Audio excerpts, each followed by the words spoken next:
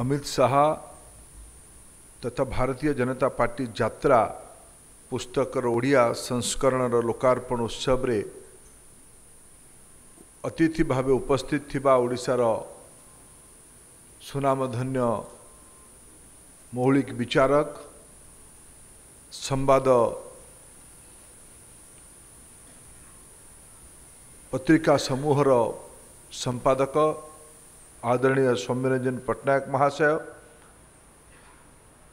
देशर वरिष्ठ सांबादिक एवं भारतीय जनता पार्टी नेता डॉक्टर स्वपन दासगुप्ता महाशय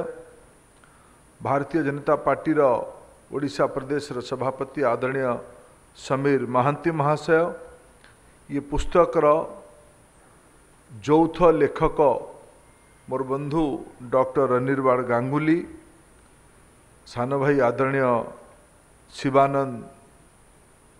ମହାଶୟ ବ୍ଲୁମ୍ସବେରୀର ପ୍ରକାଶକ ମାଲିକ ଏ ପୁସ୍ତକର ପ୍ରକାଶକ ତଥା ଏ କାର୍ଯ୍ୟକ୍ରମରେ ଉପସ୍ଥିତ ଥିବା ଓଡ଼ିଶାର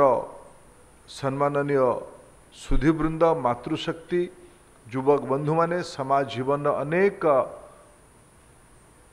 ନାମୀ ଦାମୀ ବରିଷ୍ଠ नागरिक वृंद सांबादिक बंधुगण अन्य समस्त सज्जन वृंद मु धन्यवाद देवी ब्लूमसबेरी को ओडिया पुस्तक विमोचन करार निष्पत्ति करले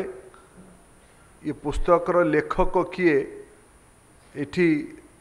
ଆଦରଣୀୟ ସୌମ୍ୟ ବାବୁ ଆୟୋଜକ ବନ୍ଧୁମାନଙ୍କୁ ପଚାରୁଥିଲେ ମୁଁ भी ଓଡ଼ିଆ ପୁସ୍ତକର ରୂପ ଦେଖିନଥିଲି ଅଶୋକ ବଳ ଏ ପ୍ରକାର ନାଁ ଆସିଲା ସେ ନାଁ ଲେଖିନାହାନ୍ତି ଗୋଟିଏ କଥା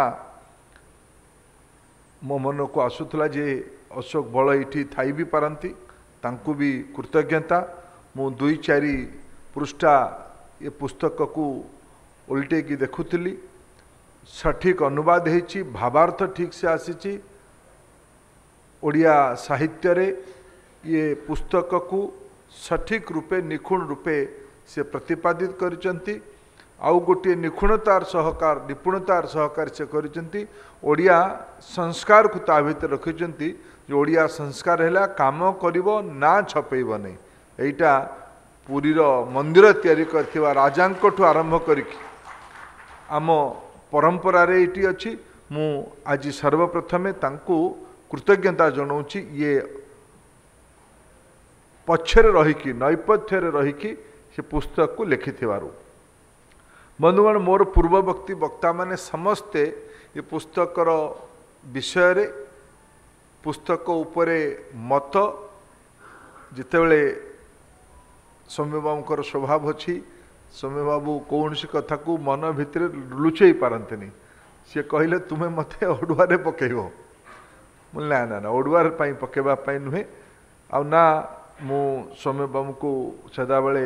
ମୁଁ ବି ପିଲାଦିନୁ ସୌମ୍ୟ ବାବୁଙ୍କୁ ଭେଟୁଛି ଛାତ୍ର ଅବସ୍ଥାରୁ ଭେଟୁଛି ତାଙ୍କର ଗୁଡ଼ିଏ ବିଚାର ସାଙ୍ଗରେ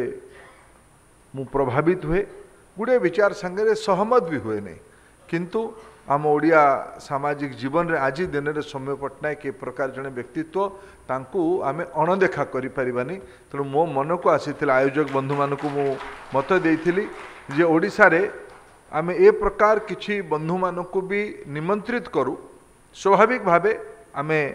ମଞ୍ଚରେ ଯେଉଁମାନେ ଉପସ୍ଥିତ ଅଛୁ ଆମେ ଅମିତ ଶାହାଙ୍କ ସହଯୋଗୀମାନେ ଉପସ୍ଥିତ ଅଛୁ ଆମେ ଭାରତୀୟ ଜନତା ପାର୍ଟିର କାର୍ଯ୍ୟକର୍ତ୍ତାମାନେ ଏଠି ଉପସ୍ଥିତ ଅଛୁ କିନ୍ତୁ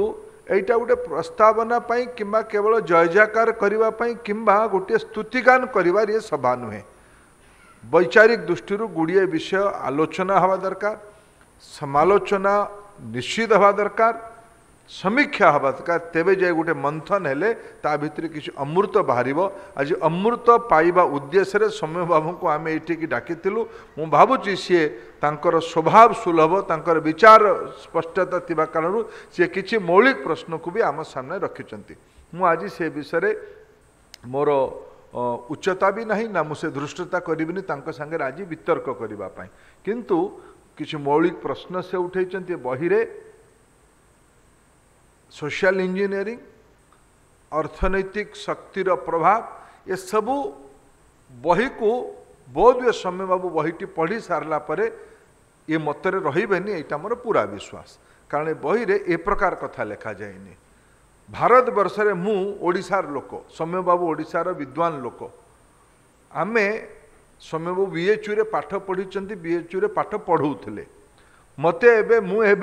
छमास पूर्वे ଉତ୍ତରପ୍ରଦେଶରେ ଛଅ ମାସର ଗୋଟେ ଇଣ୍ଟର୍ଣ୍ଣସିପ୍ କରିକି ଫେରିଛି ଭାରତବର୍ଷକୁ ଏ ଯେଉଁ ଜାତି ଧର୍ମ ଗତକାଲି ମୋତେ ଗୋଟିଏ ନାଟକ ଦେଖିବାର ସୁଯୋଗ ପାଇଲି ମୁଁ ଆହେ ନୀଳ ଶୈଳ ବହୁତ ଚର୍ଚ୍ଚିତ ହେଇଛି ଓଡ଼ିଶାରେ ଭିତରେ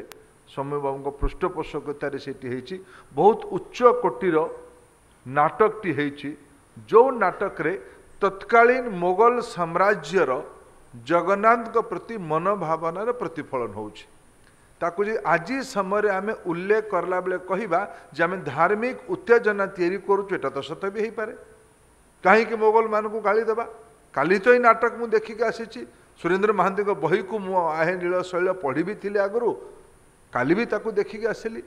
କିଛି ଜିନିଷ ଭାରତୀୟ ଜନଜୀବନରେ ଅସ୍ଥି ମଜାଗତ ହେଇଛି କୁପ୍ରଥା କାରଣରୁ ହେଉ ରୂଢ଼ିବାଦୀ କାରଣରୁ ହେଉ କିମ୍ବା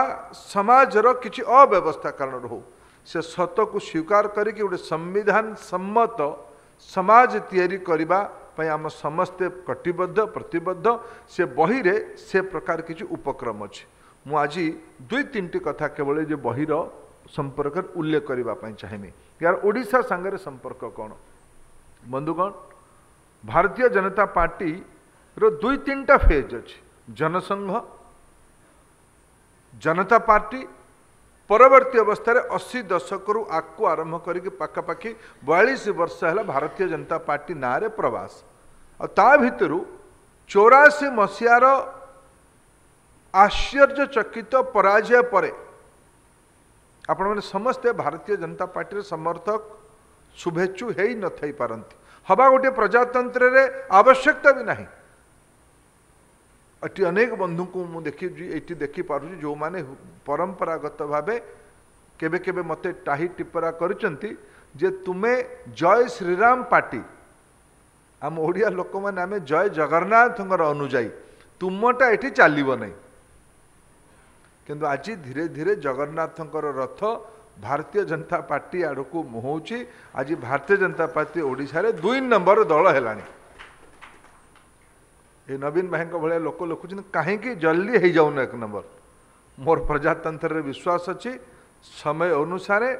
ଆପଣଙ୍କ ସମାଲୋଚନାକୁ ପଥ୍ୟ କରିକି ଆମେ ଏ ରାଜ୍ୟର ଜନକଲ୍ୟାଣ ପାଇଁ ସାଢ଼େ ଚାରି କୋଟି ଓଡ଼ିଆ ଲୋକଙ୍କର ଜୀବନରେ ଉତ୍ଥାନ କରିବା ପାଇଁ ଆମେ ପ୍ରଜାତନ୍ତ୍ରରେ ବିଶ୍ୱାସ ରଖିକି ଦିନେ ରାଜ୍ୟର ସେବା କରିବାର ଆମକୁ ସୁଯୋଗ ମିଳିବ ଯେ ଧୈର୍ଯ୍ୟ ଆମ ପାଖରେ ଅଛି ସେଇ ବଡ଼ ଲକ୍ଷ୍ୟରେ ଆମେ ଲାଗିଛୁ